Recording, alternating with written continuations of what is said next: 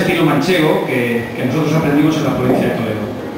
Y bueno, pues la verdad que creemos que es un tema muy interesante. Es un ritmo para nosotros también nuevo a la hora de hacerlo en directo, pero merece la pena. Con el guitarrillo manchego,